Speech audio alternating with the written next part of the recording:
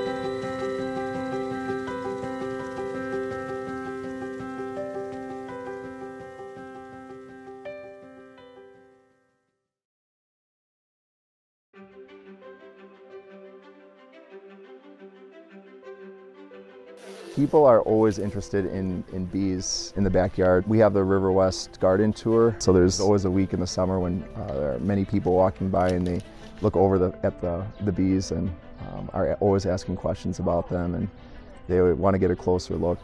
How do you get bees? Uh, would you recommend that we get bees? It sounds like a good idea if you have a backyard, why not have bees? Just like a garden, right? It is a lot more difficult than it seems. I think this is our sixth season now. This uh, building that we're on top of right now is a old bowling alley, a four lane bowling alley. So it was supportive enough where we could put a rooftop garden in, which is one of the things I always wanted to have and tie with in connection with my restaurant. And then with having a garden, having things, flowers, plants, we need pollinators. So bees was the next step to actually accomplish that, that goal.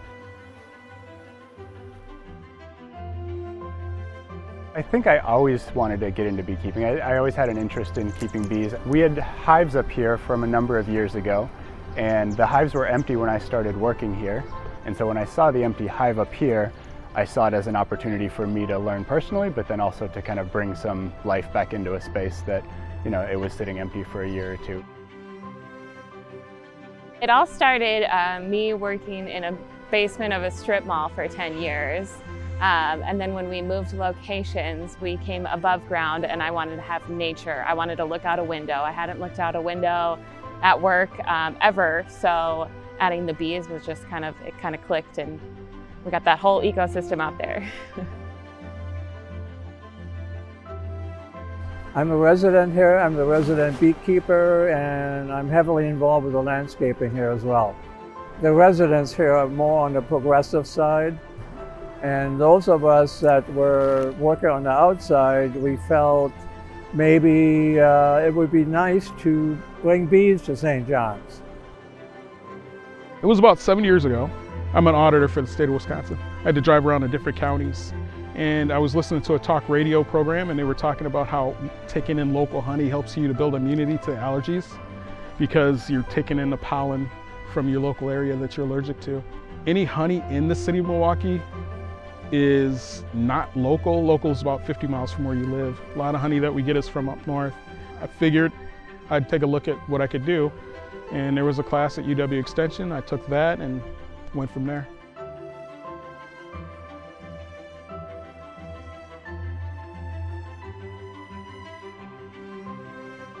I began my ministry here 10 years ago, and when I started, this church was in the bottom trough of its downward descent. So one of the people that we met along the way, Dr. Catherine Wilson and I, we walked onto the rooftop and kind of looked at each other and said, what could this be used for? How could we use this space? And then she said, what about bees? And I said, well, who will take care of the bees? And she said, I know someone. And it wasn't long after that that I met Charlie Koenen of Beevangelist. If you would have traced my career path, it had absolutely nothing to do with bugs or bees until my late 30s. I was running an Apple tech shop, teaching people to think different about how they do their work. And now I teach people to think different about beekeeping. I was sort of afraid of them, like most people are. And it was because of one beekeeper who showed me the being inside of the hive instead of just the bees themselves. And it was that that hooked me. The minute I was inside the hive and seeing that, I was like, man, this is what I want to do. And so I got out of the business and started to evangelize. And it's just been that all the way through my career is just how can I spread the buzz about the bees and, and enlighten people about the plight of pollinators.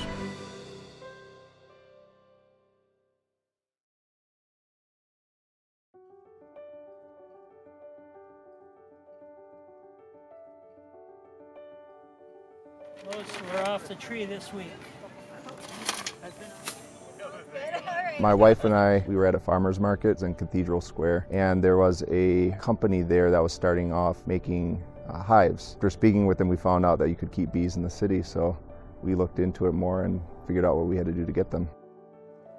The city requires certification, and there are many bee companies that usually make equipment and sell bees that will do the training and, and give you a, a certification. You also have to draw a map out of where it's going to be in your yard. We also drafted a letter and sent it to all of our neighbors, let them know that we had gone through uh, certification and the precautions we were taking, that we'd only have two hives, and we got a, a really positive response. Everyone was actually pretty excited to hear that we were getting honeybees. Just having bees, you know, 30 feet away from our door, I was concerned about that, of course. I have a, a three-year-old now, and she was one then. Dogs, um, you you kind of get worried. You know, are bees going to attack them? Are they are they going to get stung? After a few times out in the backyard, you notice that they're they're kind of just minding their own business. Typical day with the bees is pretty quiet. I only go into my hives once a week. We call them hive inspections. You're just looking for any signs of disease or parasites, looking at how well the queen is laying and what she's laying.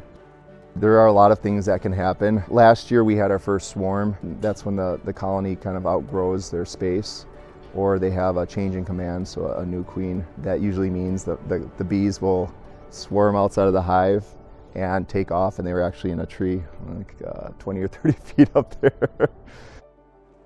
Last year in our five years was the first year we've ever taken honey. For us, it's never been about the honey, so we haven't really taken the steps to push our hives to produce more and more honey. We usually let them keep what they've made. We're, you know, taking bees and putting them somewhere we want them to be, trying to make them do things we want them to do, like produce honey or, or stay in the box. That's challenging because they're, you know, they're living creatures and they have natural instincts. There's also uh, disease and, and parasites. In the city, pesticides that are put on lawns, those can be pretty detrimental to you know, one or two colonies in a yard. All of those things make it a little more challenging than you would you know, expect. There's a really robust community in Milwaukee, in the city of Milwaukee, in Wisconsin, that will pair you up with a mentor and, and get you through your first year, your second year until you're mentoring someone else. So I, I definitely would recommend it to people, but I'd always uh, tell them the, the hardships of it and uh, to get a mentor.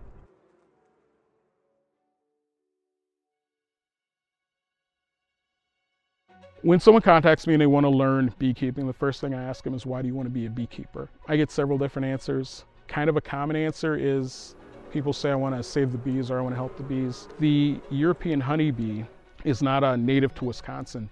We have over 500 species of bees here that actually need assistance. It's a lot of work, and a lot of times when I explain to them all the work that's involved, I never hear from them again. Some people are intrigued by the science of it, and some people say they want honey. I'll invite them out to one of my hives and say, okay, I'm gonna get your hands dirty, I'm gonna get you in this hive, and you're gonna decide if you wanna do it. When you take this box and put it in your backyard, you're making a deal with these bees that you're gonna be their doctor, their landlord, their grocer, you're gonna take care of them. 2010, Milwaukee passed an ordinance that you can have up to two hives in, on your property. Each municipality has its own ordinance. In the city, you have the medians, they plant things there. We have city gardens, vegetable gardens, flower gardens, and everything. Having bees kind of helps those flowers and vegetables produce. You have certain responsibilities having a hive within the city, and one of those is uh, respecting your neighbors. Bees are two things they're an organism and they're a superorganism. An organism, in that the way they produce is one egg at a time with the queen. A superorganism is the entire colony. The way the superorganism reproduces is it splits off. They decide that that original queen and two thirds of the bees are going to go find a new home and expand while this colony continues to grow. The bees, when they look for a new home, sometimes it's in people's walls. So that's one of the responsibilities you have. You could wear all the protective gear you want to. Um, you're going to get stung eventually. And just my opinion, I don't think you're a good beekeeper unless you get stung.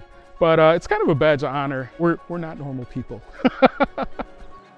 we are looking for that queen. The queen does not feed herself. She doesn't use the bathroom for herself. She's just an egg laying machine between 1,200 to 2,000 eggs a day. Bees don't make honey for us. That honey is for them. They make the honey so that they can make it through the winter. Going in hive, taking out the frames is in essence like us going into the refrigerator, taking out the food. We want to make sure we leave enough for them so that they make it through the winter. Bees go out and they collect nectar and they spit it into another bee's mouth. They do that a couple times. Then finally they spit it into a cell. And when the cell's full, they cap it over. The buzzing that you hear, that's them fanning it, drying it, and it gets thick and it becomes honey. You use an uncapper and you scrape the caps off you run it past here and remove the cap. And then you got the honey exposed and you put it into an extractor. It's like a big centrifuge and it throws the honey out. I run hives within the city of Milwaukee. I teach people with boxes how to think like beekeepers. In addition to running my own hives, I have about 20 hives right now. This is a little side thing that I do, a little side business I run in addition to my full-time job.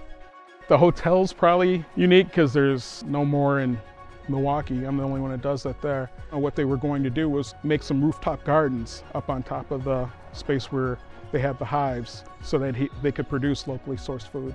Having a beehive completes the whole process of a garden because when people see that you have a functioning hive in your on your land with your with your gardens with your vegetables they know that your food is clean because they know pesticides kill off bees This is the rooftop garden. I manage the garden, the bees, the worms, and try to come up with uh, any more sustainable projects that can uh, keep a more closed loop system for the food system here at Braise. So we started 10 years ago uh, as a restaurant. Prior to that, we were a traveling culinary school, started in 2004, where we would go to farms and do farm dinners right in the uh, farm field. So we have the utmost connection with our farmers and kind of that farm to table mantra.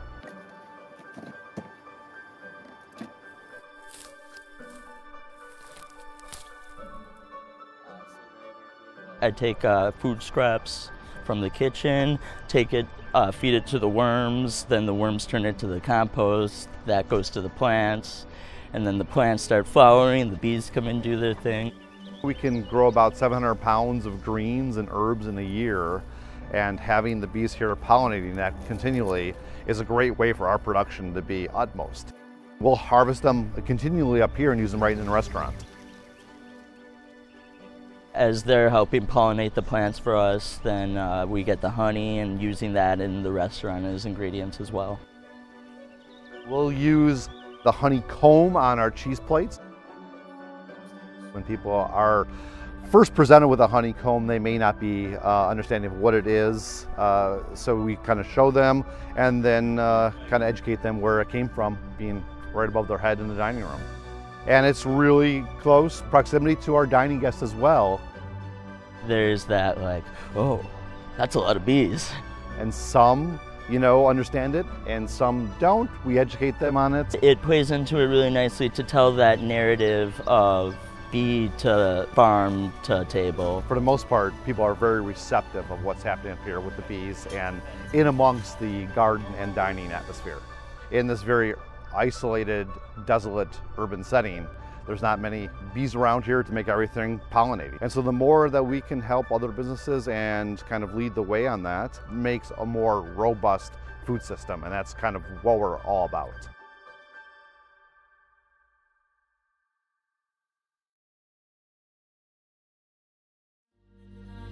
This is one of the urban ecology centers. It's one of three in Milwaukee.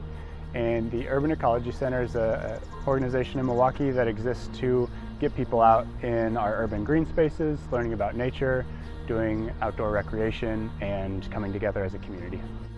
The main purpose of keeping this, this beehive here is for educational purposes. And because this is also a public space, people can come out here and hang out, sit by the bees to get uh, members of the public just comfortable cohabitating with flying insects with bees, pollinators. I think that's a very important part of like living in harmony with nature in an urban area is getting comfortable with cohabitating with different forms of wildlife.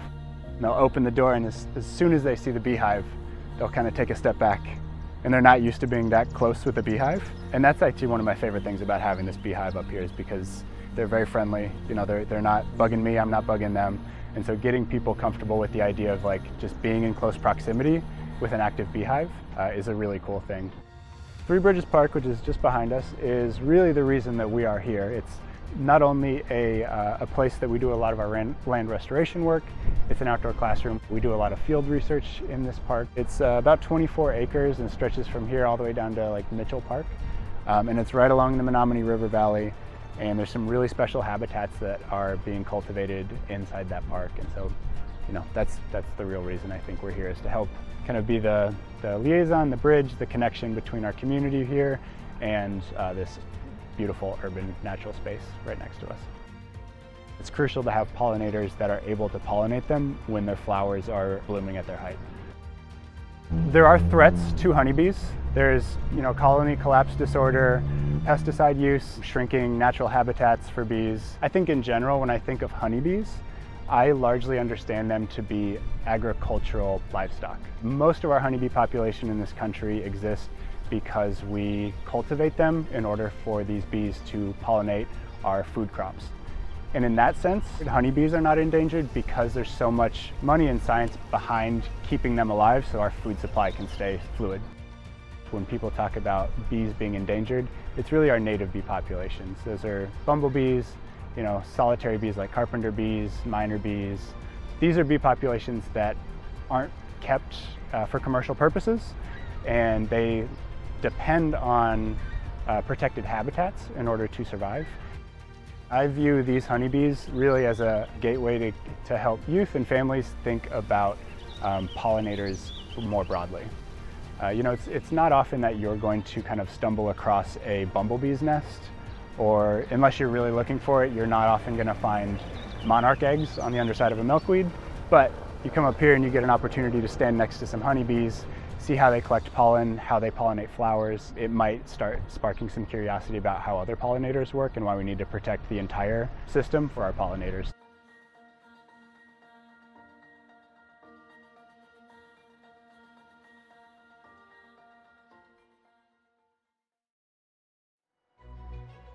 Far too often people don't understand that the food they eat, it's more than just something growing on a tree. It's, it's the action of a pollinator or a bee coming to a flower at just the right time that brought that into being. Plight of the pollinators is more to do with the broader aspect of all insect pollinators and the loss that we're seeing of their population because we were looking for why were the honeybees dying. And what we found is that that all of our pollinator populations are in a steep decline and we need to become more aware of their importance because it's through pollination that most of what we have around us has come into being. Evangelist is an organization that I've started that advocates and educates about the plight of pollinators using products and practices surrounding different types of beehives and trying to bring them into community. So we try to find places where people come together. So churches and universities, schools, nursing homes, where we can bring together people and show them bees in a way that they would not have ordinarily been accustomed to seeing them, and then do it in a way that is more geared towards safety, and education, and advocacy. Everybody always, you know, when you say bees, they ask honey. And, and I always try to divert them away that there's much more to it than, than just the honey. There are more pollinators creating abundance and diversity around us, and how every third bite of food, or most all of the fruits, nuts, berries, and vegetables that we eat, are all created by bees. The second question that everybody always seems to talk about is, is um, how they sting and how they're always around their picnics or something.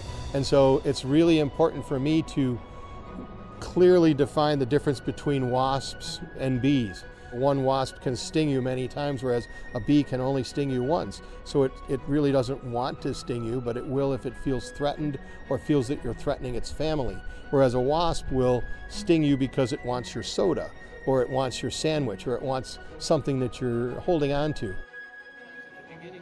The way I'm doing beekeeping without the masks, without the veil, without that stuff is not typical. There are times in any beehive that I'll be wearing a suit and I might be using smoke. And as I tear apart that house floor and ceiling to look at what I need to, the guard bees sting like crazy. So I wear a suit to protect me from getting stung, and I use smoke to stop their communication from being very good. It's not as carefree as I make it out to be. I try to do that just to demystify it and to make it more inviting. It's really important to me that if I'm going to get in front of people, I do whatever I can to attract attention. And after you've been doing beekeeping in the city as long as I have, you develop a name, Charbee. I made this Charbee costume. And so when I talk to kids in schools, I'll put on my Charbee outfit, um, including the antennas. And then when I go talk to older kids who really don't care about the bee outfit, then I just make sure I bring antennas. And sometimes when we have events, we'll put the wings and antennas on everyone in order to get everybody involved in a passive way of being able to approach a stigmatized creature. In downtown Milwaukee, I've, I've been practicing this um, evangelizing for a number of years, and, and I try to find these places where people come to. The director of sustainability said, Can we put a beehive at Marquette? Um, and we put the bees up there, and they've been up on the roof and proudly displayed in their new um, engineering building. I did the same thing at the Sisters of St. Francis, where I brought in bees because their orchards weren't doing very well. And I got their orchards up and running to the point to which they now have to prop up branches because they're breaking under the weight of apples and pears and things that are growing because we've got so much pollination increase by bringing the bees there. Redeemer Church was one of the first places where the pastor here, um, Pastor Lisa Bates Froiland, thought it would be a perfect addendum to the congregation.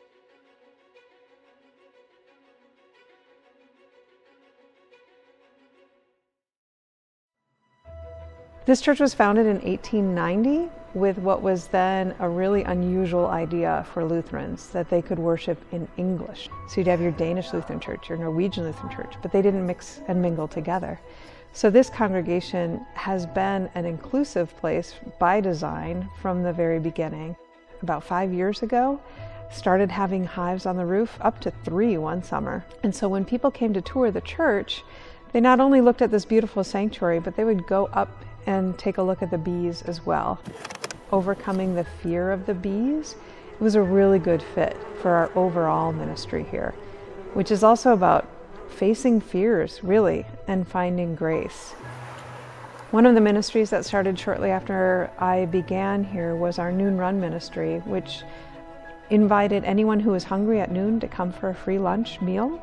For some people who were in the church or in the neighborhood, a person without a home can seem scary. Uh, they may not look the way that you're expecting them to look, or smell, or sound. And so, being in proximity, sitting down, and having a conversation really helped to face and allay those fears. Similarly, um, the bees. The bees are so critical to our survival, and yet, from fear of bees, there's been great destruction of these animals that we need so, so much um, for our food supply.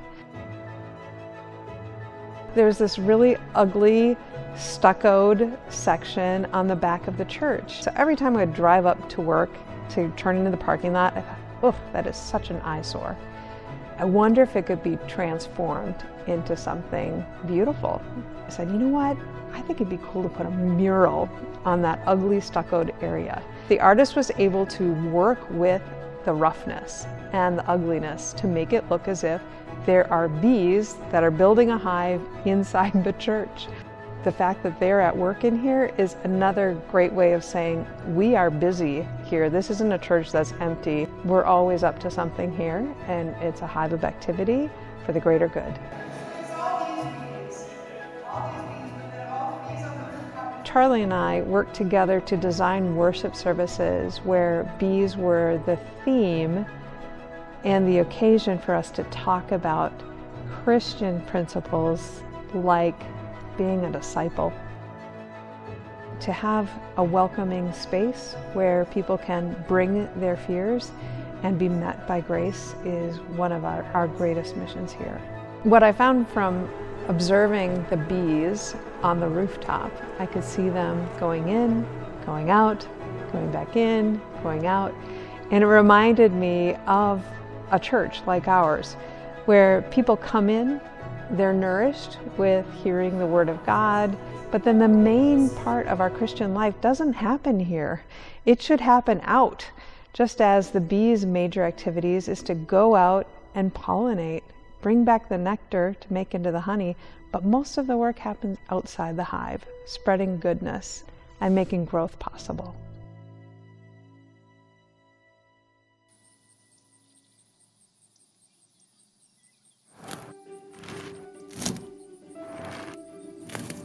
I'm just Sherry Briscoe. I live here. Um, I'm a resident. I uh, take care of this. They call it the nectar garden. I like to think of it as a prairie. St. John's has two uh, beehives, and they wanted plants that provide nectar for the bees close by. Bees can go far, as far away as five miles to get what they want for their honey. We were hoping to have, and we do have now, nectar resources for them close by too. If you're careful what you select, it'll help the garden as much as the bees. The plants will be more vigorous, the bees don't have to travel so far. It's a symbiotic relationship. They, they need each other. We've had them now for between six and seven years, so that's a pretty good time period. It was a pretty arduous process. We had to work with the city. You need a permit. Since this is a retirement community, we got about 500 people living here. Certain precautions have to be taken both by the city and also by management at the retirement facility so that we don't jeopardize residents as far as getting stung by bees. Four or five of us got together, pooled some money, brought in a person who was able to set things up, and then I'm the person who looks after them on a daily basis. It turns out it's pretty easy, they're pretty docile. If you take the time to learn a little bit about bees, uh, you find that they tolerate you. they get to recognize you. They have facial recognition. The plan is to keep bees here people are very proud of the fact that we have them. There are those of us who believe that we need bees in our urban areas because as urbanites and suburban areas spread, they take away the natural areas that were once everywhere. And as those natural areas decrease and the natural plants decrease, our insects don't have the sustenance that they need.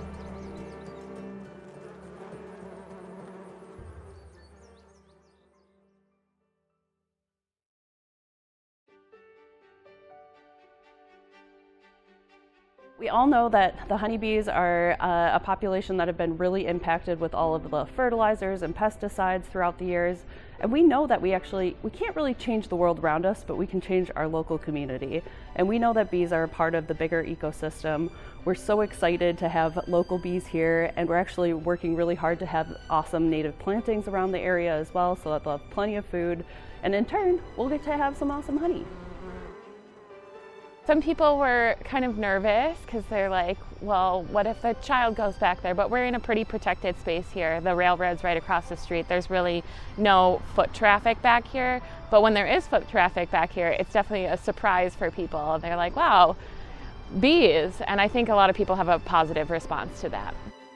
This is a family business. I'm part of the second generation along with my two sisters. We opened this location back in December of 2020 and it serves as our 10th retail store and our headquarters.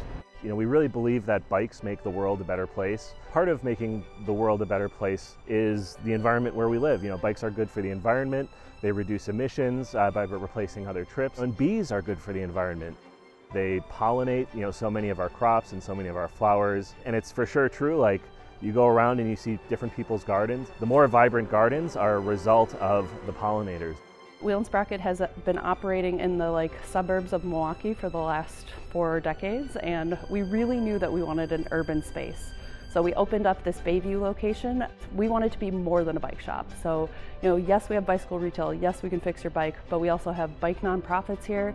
And we also have what we are calling the Joyride Cafe. You can get a cup of coffee or a, pint of beer a lot of places in Bayview, but no place can you uh, benefit bicycle infrastructure. So the Joyride Cafe benefits the Chris Kegel Foundation, uh, which is our internal nonprofit that creates bike paths, that helps with bike infrastructure, and creates awesome bike events. We have thousands of bees out and back. We'll be able to harvest and actually have honey at the cafe from our local bees here. We have no plans of stopping. It's a lifelong adventure and we're growing and we're you know learning and getting better and adding new elements here and there all the time. And you know no idea is a bad idea. We like to try things out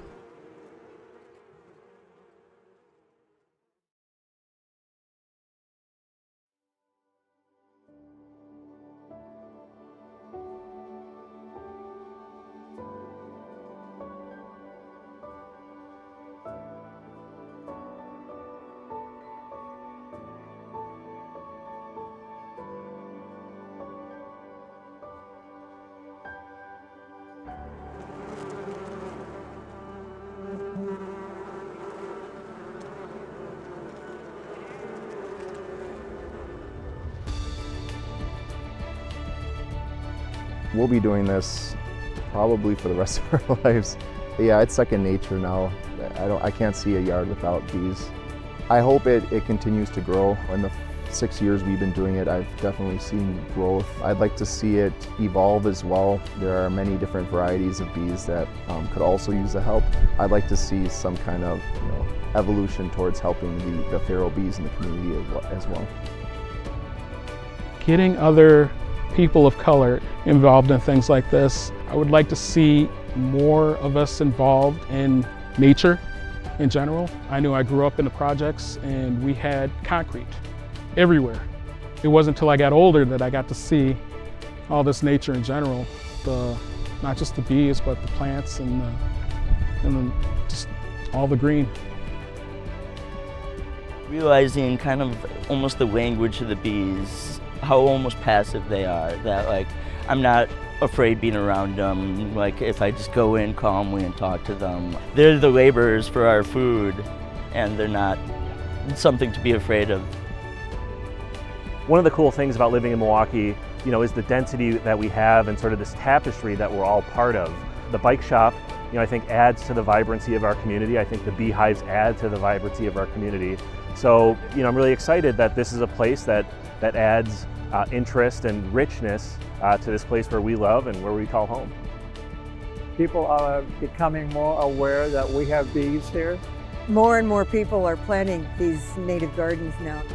It's a beautiful circle, and I want to keep that circle alive.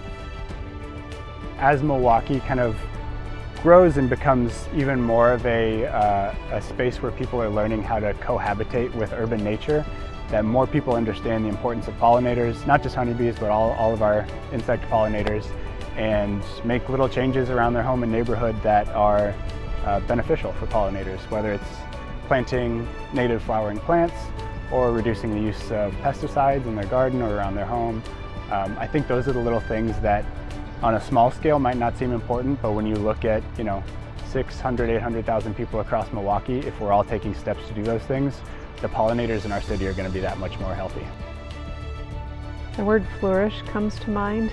will the neighborhood, will the city of Milwaukee, and will the people who come into this hive think enough about the future and the hopefulness of this community of faith to invest deeply in it. And so my hopefulness is that the fear of bees will continue to decrease as we value their important work among us to help all of us be able to flourish in terms of nutrition, but in, also in terms of being connected to all of God's creativity. If you look at a bee, it, it lives for 30 days, 40 days, and for that time, it only makes a twelfth of a teaspoon of honey, a drop.